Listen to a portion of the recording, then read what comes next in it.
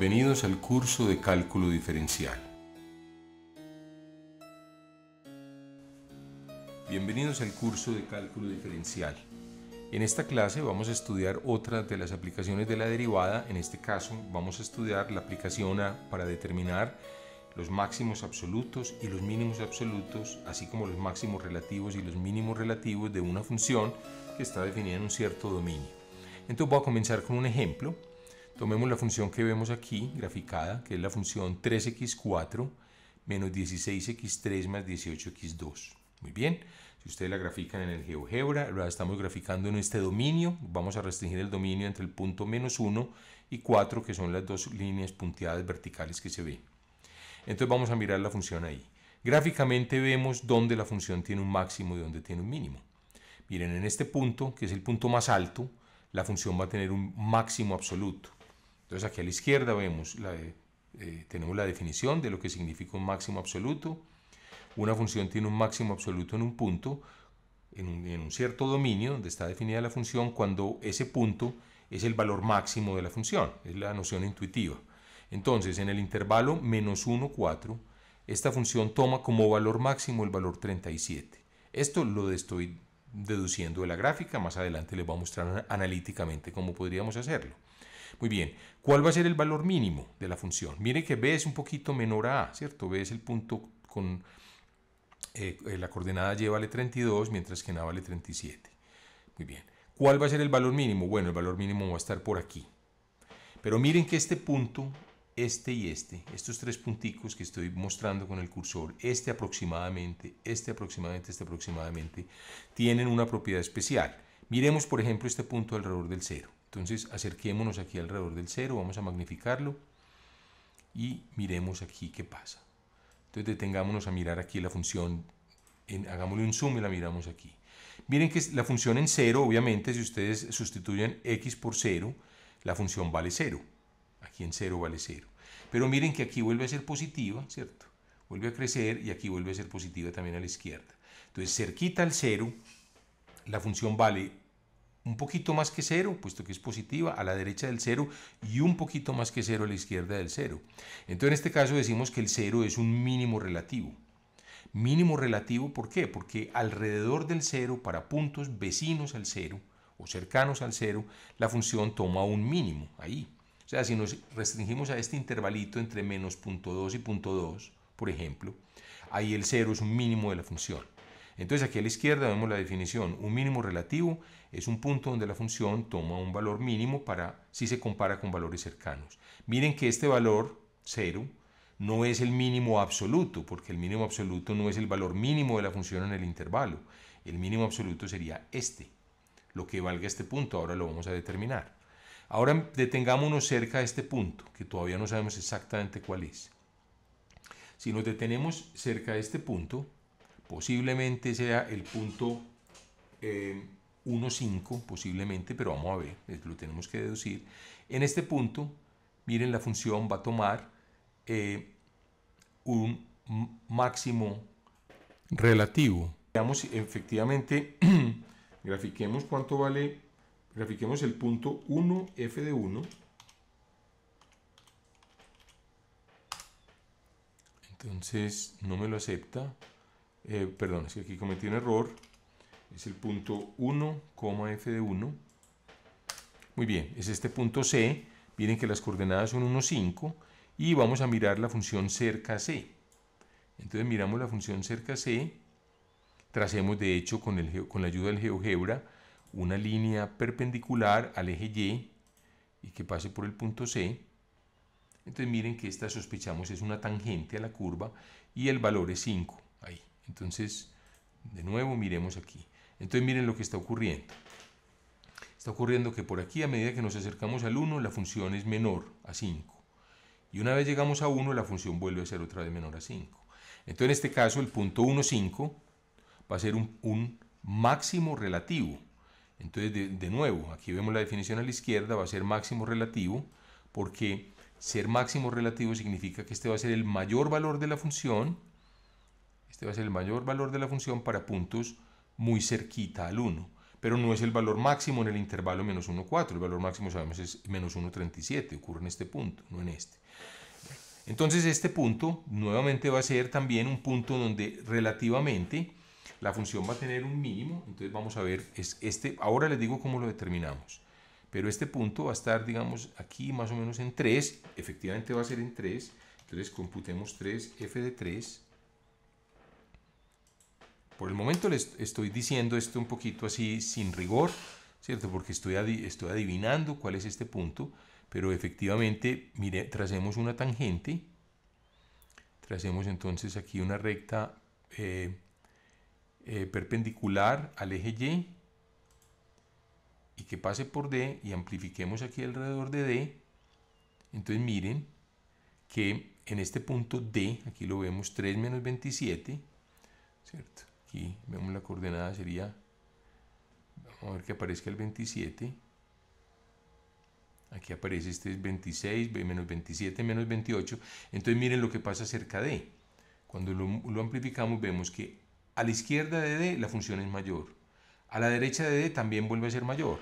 Entonces D, que no lo perdamos en perspectiva, va a ser un mínimo absoluto. Claro, porque va a ser el mínimo valor de la función alrededor de este intervalo, de, de este puntico. Pero va a ser un mínimo, perdón, va a ser un mínimo relativo. Y va a ser un mínimo absoluto también. O sea, es mínimo relativo porque es el mínimo valor para puntos cerquitas a D. Y es un mínimo absoluto porque es el mínimo valor de la función, ¿cierto? En todo el intervalo de esta línea hasta esta, la función tiene este punto como punto mínimo. Entonces las conclusiones aquí, entonces tenemos aquí a la izquierda las definiciones fundamentales de este capítulo, la definición de máximo absoluto es el máximo valor de la función en su dominio, mínimo absoluto es el mínimo valor de la función en su dominio, máximos relativos van a ser aquellos puntos donde la función es máxima pero solamente cuando se compara con los puntos vecinos, de ahí que sea relativo, ¿cierto? Este es el, este es el más inteligente de su barrio, el más cerquita, pero en todo el país no es necesariamente el más inteligente. Lo mismo este punto, este sería el menos inteligente localmente y sería el menos inteligente absolutamente también. Bueno, si, si, esto estuviera midiendo el cociente intelectual de una población. Pero bueno, cualquier cosa de ese estilo ustedes podrán encontrar su propia interpretación. Muy bien, entonces la cuestión que eh, queda aquí pendiente es, bueno, bueno, entonces, ¿cómo determinó usted este punto C, este punto D y este punto 0, 0, que no lo hemos marcado, marquémoslo de una vez, donde ocurren los máximos eh, relativos. ¿Cierto? Estos van a ser puntos de máxima relativa, estos E, C y D son puntos de máximo relativo, mientras A es un punto de máximo absoluto y D es un punto de mínimo relativo. B no es un punto de nada, no es ni, ni, ni localmente el máximo, bueno, localmente el máximo se considera dentro, cuando la función se puede comparar tanto a derecha como a izquierda. Porque ustedes podrían decir, miren que este sí es el más alto de sus vecinos. Sí, pero en este caso el más alto de sus vecinos, pero a la derecha no es comparable. Entonces, realmente en la definición de máximo absoluto y de mínimo absoluto, necesitamos que sea comparable con todos los vecinos, tanto a izquierda como a derecha. Eso es simplemente un convenio. Entonces vamos a ver, el teorema de Fermat nos dice que en los puntos donde ocurren los máximos absolutos, perdón, los máximos relativos y los mínimos relativos, como lo vemos aquí, en este punto, en este punto, en este punto, la tangente a la curva tiene que ser horizontal, es decir, la derivada tiene que ser cero.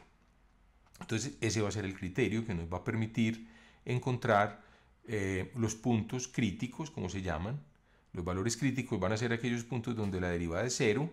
De aquellos puntos críticos vamos a determinar los máximos absolutos, los mínimos absolutos y después eh, los máximos relativos y los mínimos relativos. Entonces vamos a ver con algunos ejemplos cómo se hace esto.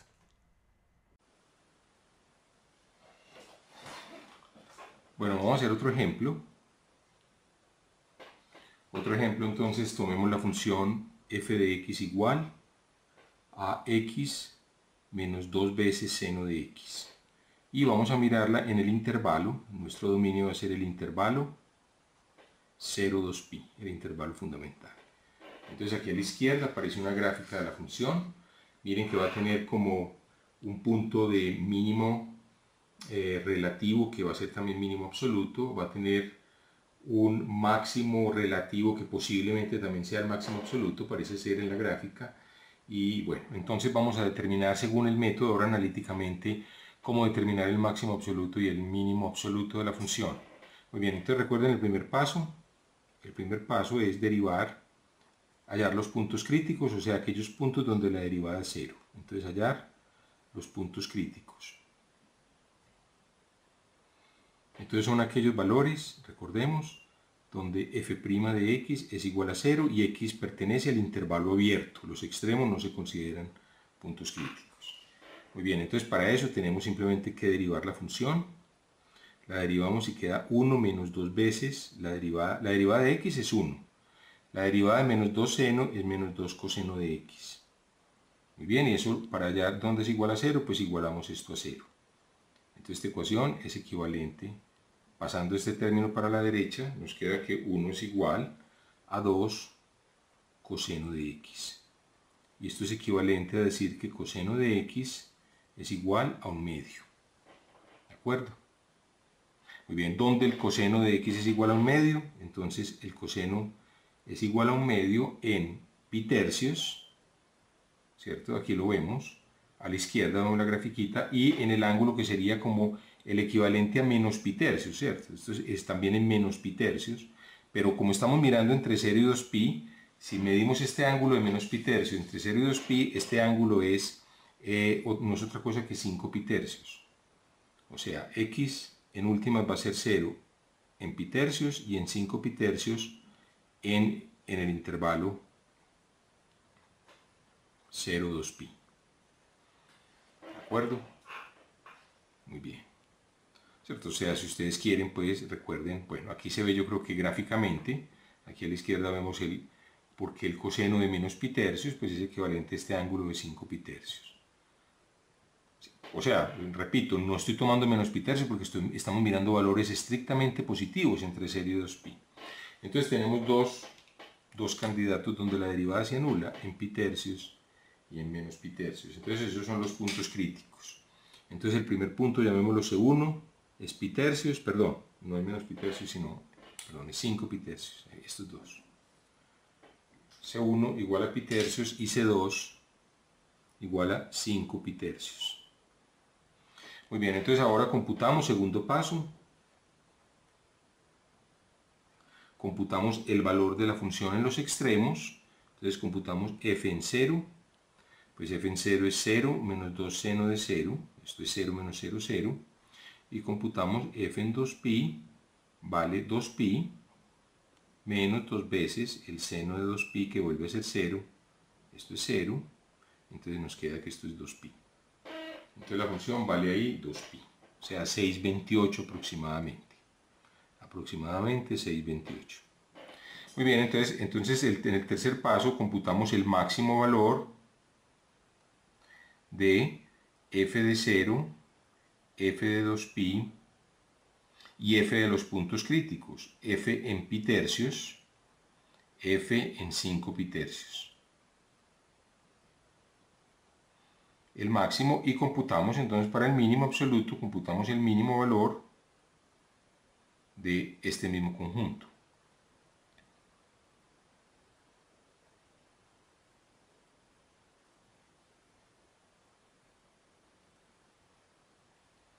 Muy bien. Entonces aquí, eh, pues simplemente, pues aquí necesitamos una calculadora, pues para estos valores, este conjunto, si ustedes, este conjunto va a ser el conjunto f de 0 es 0, f de 2 pi es aproximadamente 628, f de pi tercios, si ustedes lo calculan, es aproximadamente menos 0.68 y f de 5 pi tercios es 6.96 usen la calculadora, entonces tomemos estos valores, entonces este es el mismo conjunto.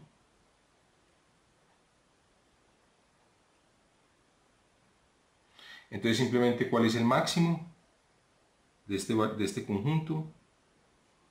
Pues el máximo de estos valores, pongámoslo en rojo, el máximo es 696 que ocurre aquí en, en pi tercios entonces el máximo es 696, ese sería el máximo absoluto y el mínimo absoluto, este sería absoluto.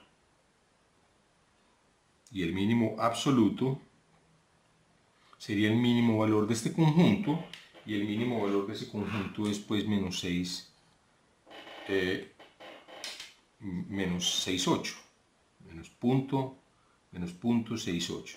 Entonces miren qué es lo que corresponde a la gráfica, es decir, los puntos, la conclusión, es que en C1 igual a pi tercios, que es este valor, ocurre un mínimo, ocurre un mínimo absoluto y relativo también. ¿Cierto? Y relativo es, el, ¿cierto? Este es el, mínimo valor de la función cerca a los valores de pi tercios y, y, es el mínimo valor de la función en todo el intervalo. Y en C2 igual a 5 pi tercios ocurre un máximo absoluto y también un máximo relativo.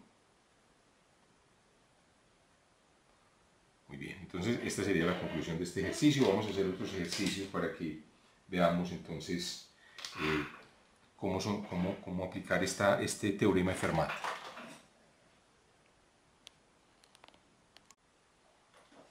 Bueno, muy bien, vamos a ver. Una, dos, tres. Bueno, vamos a hacer otro ejemplo. Entonces en este ejemplo vamos a computar para la función f de t igual a t por la raíz cuadrada de 4 menos t2. Entonces vamos a computar los, eh, o a determinar, a determinar eh, los máximos y mínimos absolutos, los máximos y mínimos absolutos en, en el intervalo menos 1, 2. Entonces ese es el intervalo de la función. Entonces recordemos, el primer paso es determinar los puntos críticos, o sea, los puntos donde la derivada es cero. Entonces vamos a computar puntos críticos. Entonces para ello entonces derivamos a f. Entonces vamos a escribir f entonces de una manera conveniente, f, escribamos aquí, es t por 4 menos t2 a la 1 medio.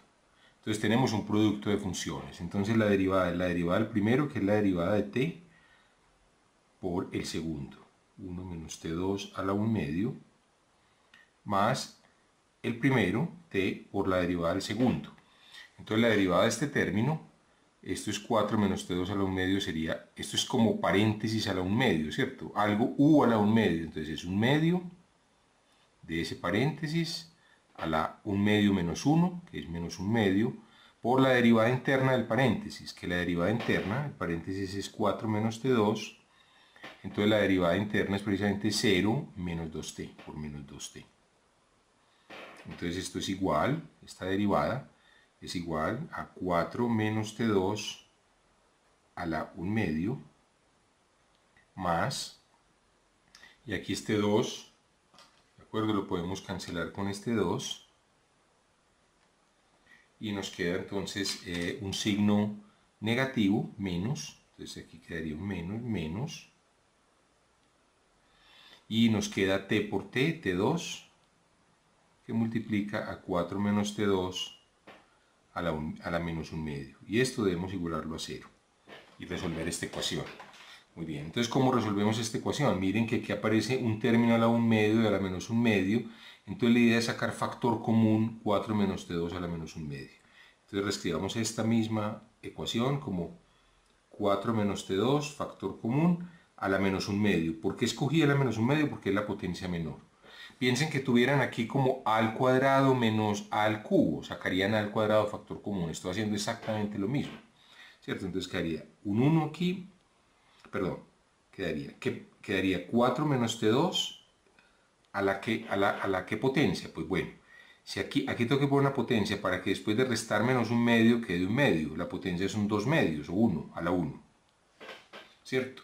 Queda, o si ustedes quieren, pues a la 2 medios. 2 medios menos un medio queda a la 1 medio. Cuando uno vuelve a multiplicar. Y aquí queda menos T2. Entonces esto es 4 menos T2 a la menos un medio por y esto es a la 1, o sea, esto es 4 menos T2 menos t2, entonces esto es igual a 4 menos t2 a la menos 1 medio por, y aquí queda 4, y queda menos t2 menos t2 menos 2t2, igual a 0. Muy bien, entonces tenemos esta ecuación. Ahora, si ustedes quieren, esta ecuación la podemos escribir, este, eh, esto es, eh, eh, este término 4 menos t2 a la 1 medio es lo mismo que 4 menos t2 a la 1 medio pasándolo al denominador, ¿cierto? Si lo pasamos a este denominador quedaría la 1 medio, o sea, queda raíz cuadrada, queda 4 menos 2t2 sobre la raíz cuadrada de 4 menos t2, tal vez así luzca un poquito más familiar, igual a 0. Ah, bueno, entonces para resolver esta ecuación simplemente pasamos este término a la derecha, 0 por este da 0. Muy bien, entonces nos queda que 4 menos t2 menos 2t2 es igual a 0 esto es equivalente a que 4 es igual a 2t2.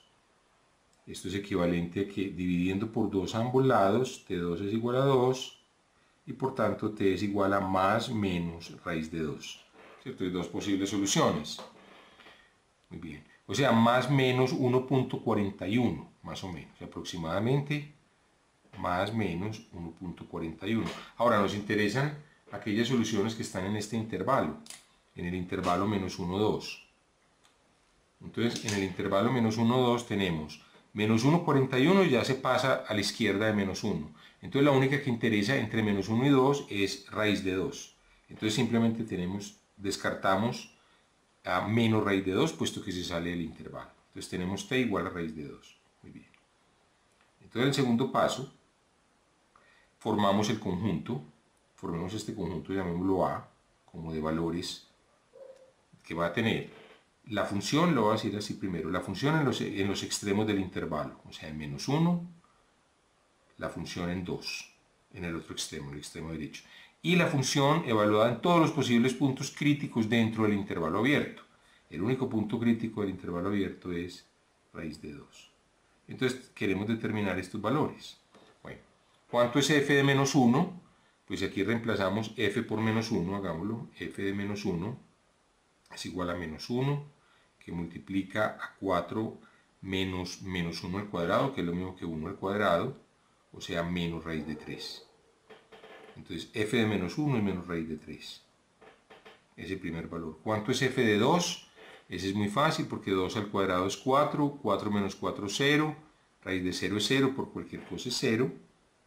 Y f en raíz de 2, finalmente, f en raíz de 2 es igual a raíz de 2 que multiplica a 4 menos, aquí cuando reemplazamos a t por raíz de 2 queda raíz de 2 al cuadrado es 2, entonces queda raíz de 2 por raíz de 2, ¿cierto? Queda raíz de 2 por 4 menos 2 es 2, raíz de 2 por raíz de 2 es 2, entonces este tercer valor es 2.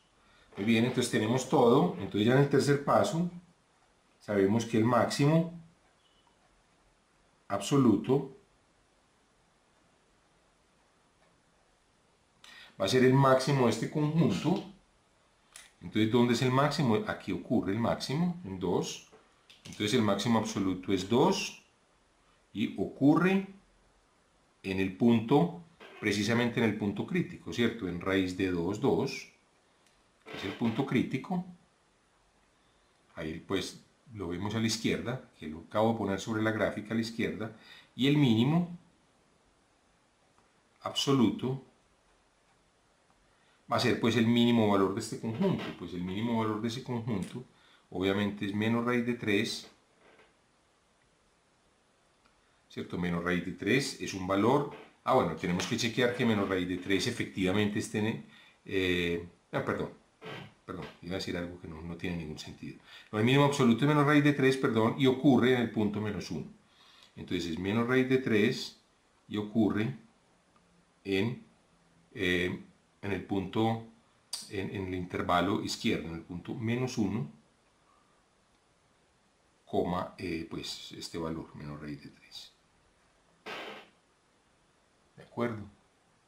Entonces tenemos eh, sí, muy bien.